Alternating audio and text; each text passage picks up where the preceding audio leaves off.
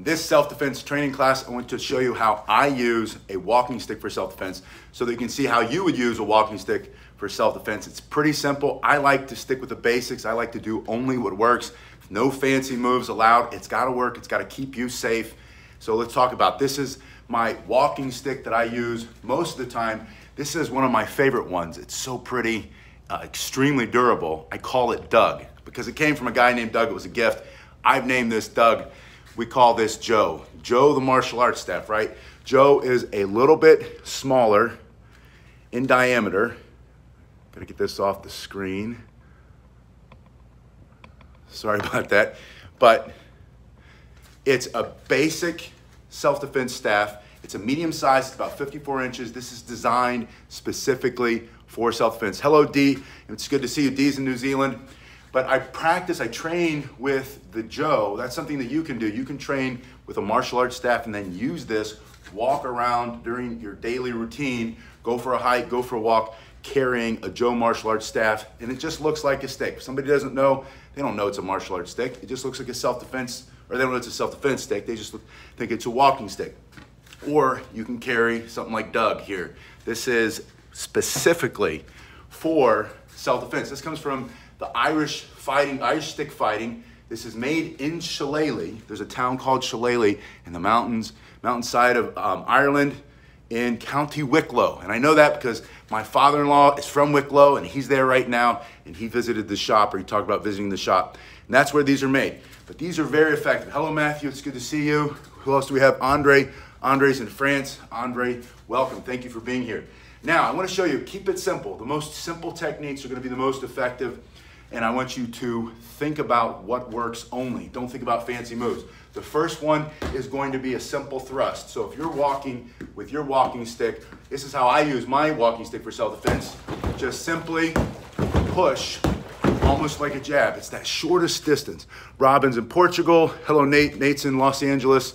And Al Bailey said, is it legal to carry? Yes. And I'll tell you why uh, now, it might not be legal to take it on a plane, although I will tell you, when we went to Costa Rica a month ago, there was a gentleman on the, waiting to get on the plane. He already made it through TSA. He had something that looked very similar to this. It was made out of a different wood, a, a wood from Africa. And I stopped him and I said to him, I said, how did you get that through TSA? He said, well, I'm an older gentleman, which he was. He said, and the fact is, I train with my walking stick for self-defense. I said, that's fantastic. I talk about it all the time. He says, I know, I've seen you, which was really fun. It was fun. I was there with my son and he got to see, we were to have this interaction.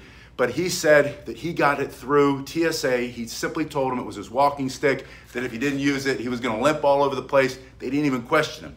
So most of the time, you can carry a cane. In the past, I always thought they would take your walking stick but he got his through. He says he flies all over the world. No one ever takes it from him. So yes, in most places you can carry it. This Irish shillelagh using, has this big knob on the end. It's the same technique with the Joe martial arts stick. You can simply push and thrust, but you have to think about principles of self-defense. Number one, Paul, thank you. Paul says, love your videos. Paul, thanks for being here. Number one, think about what the material is. This is wood, these are both wood. This is an extremely hard wood. Most shillelaghs traditionally would have some lead in the, the, the knot right here. Now this one is very heavy, I'm sure that it does. I don't even know how they get it in there, but it's a burled piece of wood. This is almost like a hammer or a fist coming straight into the nose or into the throat or into the sternum, into the solar plexus, into the groin for self-defense. Not to hurt somebody, not because you're a bully, but for self-defense. You have the right to defend yourself and you can at every single age. You shouldn't have to feel like you have to become a victim as you get older. So from here, you can thrust with this. This is very effective. It's made out of hickory. The second technique I want you to see that this is how I use my walking stick for self-defense. It's how you can too, is turning. It's almost like a punch and you push your thumb side down, pinky side comes up, and that twisting motion puts the long side of your walking stick, whether you're using the Joe martial arts staff or a traditional walking stick, it brings it up and across the side of the head. Now, it's very effective. I don't care what kind of walking stick you're gonna use. It's fast, it's effective, and it's simple. And I wanna keep it simple because you have to be able to use it. If I give you a very complex, multifaceted, multi-step series of moves, it's not gonna work for you or for me or for anybody else. Andre says, what about a golf club? Of course. I do know some people who carry a golf club for self-defense when they go for a walk in the morning with their dog because there are other dogs that are that have attacked them before and they carry that. Now, I don't know what the legal ramifications are if they had to use that, and I'm not a lawyer, legal disclaimer, you're on your own when it comes to that, use your common sense first, but I do believe you have the right to defend yourself in most situations. This is a better option. It's much more attractive too, and it looks like a walking stick because it is a walking stick. This is a martial arts Joe staff. There's a link below where you can see exactly how this is made, how inexpensive they are, and how extremely durable and strong it is. You can even make your own with a dowel rod from the uh, hardware store, the do-it-yourself shop, but it also looks just like a walking stick. In fact, if so you were walking down the street, no one would say, why is that guy carrying a martial arts staff? Now, if you had the big long staff, the bo, the Japanese uh, long staff, they might say, that guy's walking around, he thinks he's Gandalf the Great or something. Why does he have that? That would be a little bit more weird, but this, it's like the gray man option. It would make complete sense to somebody that you might just be out for a nice long walk. Maybe your knee hips, hip hurts, your knee hurts, your foot hurts. You're just carrying something for mobility, right? To help you get along down the street. Your first technique, a thrust, your second technique, and turn. I'm gonna have to put one down to show you my third technique, which is my favorite. This is how I use the walking stick for self-defense. Yeah, um, it is. That's a root ball. Paul says, I think the knob is a root ball. It's exactly what that is. This, and again, it's just, it's a heavy hammer. This one, again, we're gonna call this one Doug. It's a very, it was a nice gift from a gentleman named Doug. That's why I called him Doug. And I call this guy Joe, because it's a Joe martial arts staff. That helps me keep, keep them separated, keep it clear in the head, right? But in this position, if you need to create distance quickly in a very simple, effective way, this is how I use my walking stick for self-defense. I simply pick this up to the side of my head. Now, I'm a big fan of putting the helmet on when it comes to self-defense. That means if I didn't have any weapon in my hand or any self-defense tool, I can drive my elbow, this is his face, drive my elbow or into his throat, into his solar plexus, and create distance. I'm a big fan of being first mover. Moving, if I know that there's a threat, I don't have any choice but to defend myself physically. I'd like to be the first one to get there and stop him before he stops me, right? Close with and destroy.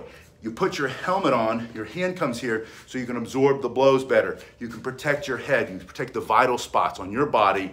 This is how I use my self-defense stick. I also like to bring this up for the same reason.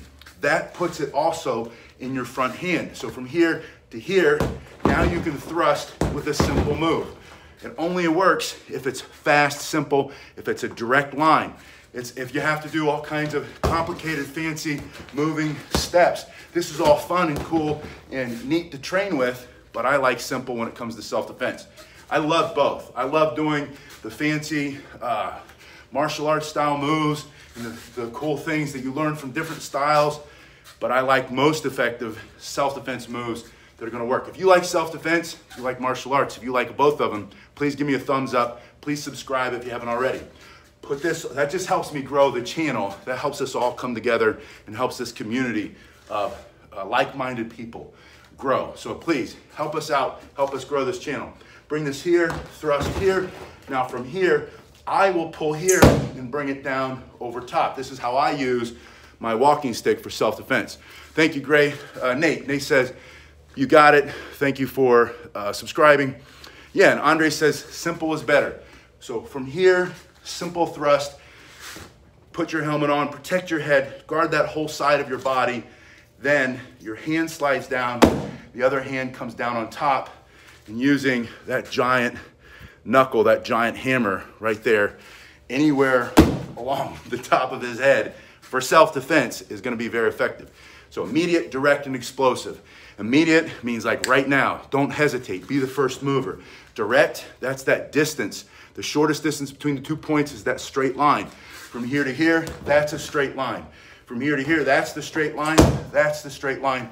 Even this is a straight line because your hand is going forward and turning. It just happens to bring that up alongside the side of his head. For self-defense, it's very effective.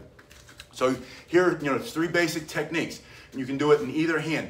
In fact, it would be a good idea if you practiced with one hand and practiced with the other hand. That's how I use my walking stick for self-defense. Practice with the left, all three techniques, put the helmet on, thrust, slide it down, and strike. Now, you could also be carrying your walking stick and your hand like this, so it's kind of even in this position. Turn your hand up, and now you have an immediate response to a threat. So from here, turn your hand up and turn your hand over. Same thing. It doesn't matter if your hands are split in this grip, there's a strike, or if you turn it here like a push-up, there's a strike, or there's a strike. In fact, you can easily strike this way, both sides of the head for self-defense, and if your hand is a split grip, the same technique works. Doesn't have to be here. This is also effective. In fact, this is probably gonna be easier on your wrists. But this is also going to work and it's not gonna be that much worse on your wrists. From here, you can also just thrust using this straight hard piece of wood. And this is, um, somebody help me out. Tell me what, what, what do they make the Irish shillelagh out of? What's Doug made out of here? Yeah, Matt O'Pasquale Lugo says. Lugo, what do they make? Uh, Lugo's in Ireland, I think. What do they make the, uh, what wood is the, the Irish shillelagh made of? I'll tell you what this is. This is hickory and this is extremely strong. I don't remember what this is. Blackthorn, thank you. The blackthorn, this is, and you can see how nicely finished that is. This is exceptionally strong. In fact, I think if I were to hold this up and I were to smash it, and I never would because I'm in love with both of these two guys, right? Doug and Joe, but it would smash it right in the middle. Um, yeah, so, oh, right, so Chinto Kata says, look at the cunning Cunningham system. I've seen that, I've seen a lot of those different systems or a lot of the different Irish fighting systems. And they have so many super cool moves, a lot of moves where you're going down and then you're into your self-defense techniques. And there's a lot of great value that comes from every style of self-defense using a stick, whether it's a martial arts style, like an Asian martial arts style, like the Japanese, Korean, Chinese stuff, or if it's from, um, thank you, Lugo. Lugo's given us the history of the Blackthorn. Or uh, if it, you know if it's from Irish stick fighting, or they have stick fighting in the islands in the Bahamas. There are different, uh, and, and in Senegal, there are different cultures where they use sticks to get after each other for fun, I guess, and for self-defense. I like it for self-defense when it's simple, effective, and it's something that you can pick up the first time you pick up a stick learn some basic moves, and then immediately feel like you can now walk out of your house, go for a walk, take the dog for a walk, go uh, do your daily chores, and not feel so threatened by what might be out there. Because the world seems like it's a scarier place at times, and I know a lot of that is is uh, the media just trying to get us all riled up. A lot of it's real. And so whether it's real or whether it's imagined, having an option for self-defense, and this is the great non-permissive environment tool, right? There's one of these tools that some people will often come on this channel and say, why would I carry that? I just have one of these. And I often say, that's great, congratulations, but you can't do this in every single situation. The guy starts to become threatening and you, you're going to jail, right? You can't, you can't do that in every single situation. It's not appropriate. And even if it is appropriate, if it doesn't work, if the things don't come out of it right, if you don't know how to use it because you've only you, you got the concealed carry and it took you one shot and you don't really have training on it or somebody takes it away from you there are many reasons why knowing how to defend yourself with both open hands and self-defense tools like this are a great option. And it just might be your style. I have the permit to do the concealed. I've got multiple um, self-defense tools I spent uh, time in the Marine Corps and in the Army and in a lot of um, competitive shooting types of situations. I've done a lot of training on um, uh, weapon retention using that tool. I've done a lot of shoot or uh, uh, training on accuracy drills and speed drills, and I love to shoot steel. There are a lot of ways that I could be very effective if that's what I chose to do for self-defense, but it doesn't feel appropriate for me in most places. And in most situations, if you go into like a bank or the school or the church, I'm not carrying those things in there. I'm in what I call a non-permissive environment. Other people call it a non-permissive environment. You might be in a non-permissive environment where you've gone through TSA and you have your walking cane for self-defense, or you have a walking stick for self-defense, or you've trained with this tool for self-defense, a stick for self-defense, and there's sticks everywhere. There's, um, there's an umbrella. Maybe use an umbrella to uh, be your self-defense tool. Maybe you did carry your golf clubs onto the plane. You know, I don't think you can If in first class. I've seen them put them in the first class, so I know some people can get them through, right? But just having the ability to know how to do some simple things with a self-defense tool that is not one of these, but is one of these with a simple thrust, put your helmet on, strike this way, twist this way, get in two hands, pushing to the side, take out a knee, right? Go for the middle. Simple things. Immediate, effective, and explosive. Immediate, direct, and explosive. That's what you need. Yeah, uh, so Nate says use curtain rod. You can use a curtain rod. There's so many tools when you start to learn how to defend yourself using a Joe martial arts staff. And again, if you want to see what the dimensions are, it's that first link below, or an Irish shillelagh. You train with this, and then when this isn't with you, you look around and often there are other things that you can use. They might not be the exact same length, maybe not the same material, not the same heaviness or the same uh, diameter or thickness, but you know how to defend yourself using. You might even create your own. Like I've shown you many times how to roll up a magazine to use a short stick for self-defense, or how to take a long newspaper, flip it over, put a shaker of salt in the middle, roll that up, and now you have a club for self-defense, like a, a short, like a war club or a mace, something like that. Hello from uh, Wilson's in Vancouver, Canada. Hello, Wilson. We've got Canada here, um, Britain, Los Angeles. Where else do we have? Uh, Ireland and uh, France. So worldwide, this is our global virtual dojo. That's what I love about this so much is that all of us come together and when you share the comments with me, when you ask me questions or you, you add things to it, yeah, Lugo says lead shot is a lotus stick. There's lead shot in here, I know for fact. In fact, if we go and get one of the other shillelaghs, because I have multiple, Doug sent me several. Thank you, Doug. This one I call Doug because it just reminds me of a tough older gentleman, and that's how I picture Doug. Tough older gentleman.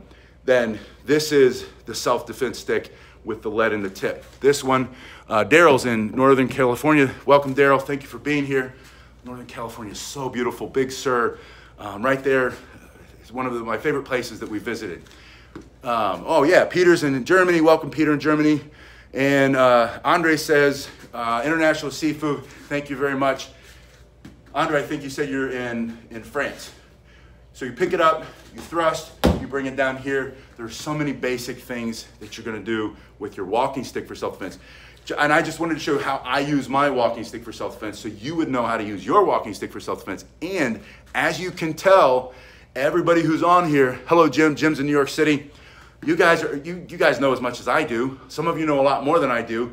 And when you add to the conversation, not just here in chat, but also put it in the comment section below, please put a comment in the comment section below so that we can get the conversation going. Then yeah, Matthews in Newton, New Jersey. Beautiful Newton, New Jersey. Um, then we all learn from each other. So please put the comments in the comment section below and comment on each other's comments so that we can learn from each other and you kind of make these connections. It's kind of fun. It's like a virtual pen pal, right? You don't have to get the hand cramp. You just put in a couple of comments on your computer or on your phone and then you have an international friend. Yeah, Lugo says he loves Deutschland. Ich liebe Deutschland. So um, those are the basic techniques. That's how I use my walking stick for self-defense. Let me know how you use your walking stick for self-defense, and I will see you guys in a little bit. Thank you.